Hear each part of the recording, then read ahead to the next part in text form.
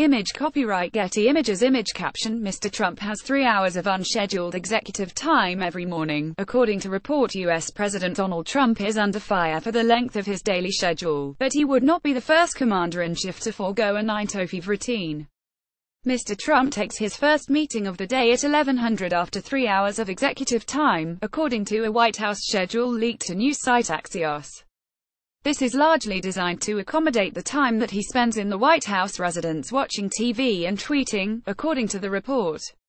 The White House responded that Mr. Trump spends this time making important calls and consistently puts in long hours and long days nearly every day of the week all year long. The Axios report highlights a long-standing criticism that Mr. Trump spends too much time in front of the television. The schedule released to Axios differs from schedules the White House sends to media every day. According to the report, the president has designated executive time from 800 to 1100 in the Oval Office but actually spends these hours in his residence watching television, making phone calls and tweeting. At around 1100, the president emerges for his first meeting of the day, which is typically an intelligence briefing.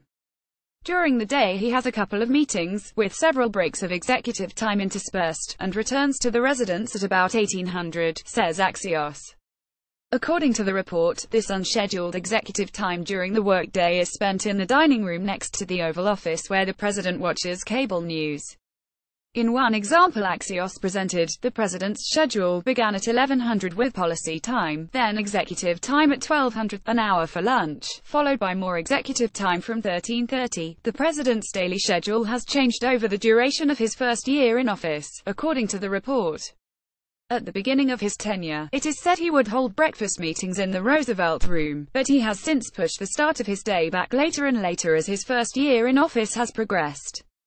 On days when the president is traveling, his schedule often runs longer. How early have other presidents started? Many other presidents were known to have kept erratic schedules and most tailored their daily itineraries to suit their own needs.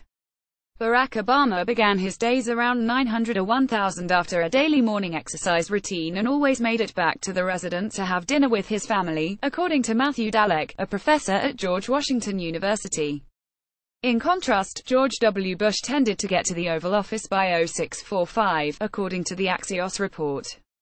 However, while Mr. Bush was known for starting and sleeping early, Mr. Obama had night owl habits and was known sometimes to stay up until 0100 or 0200 working after his family was asleep. Professor Dallek told the BBC, other presidents, like both Lyndon B. Johnson and Bill Clinton, were known to make calls in the middle of the night.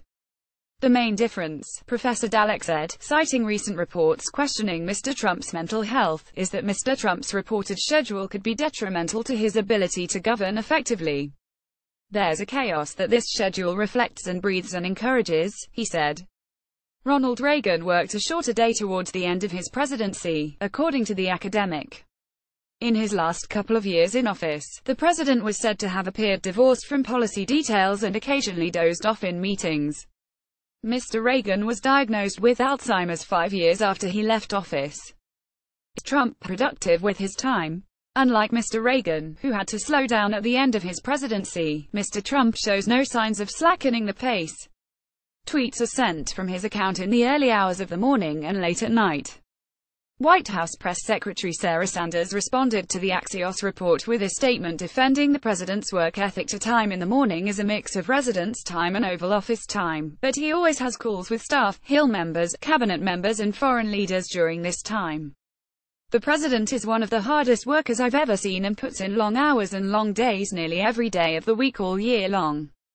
It has been noted by reporters many times that they wish he would slow down because they sometimes have trouble keeping up with him. The problem, Professor Dallek says, is that for the president, unstructured time can be destructive and debilitating, citing his tweets.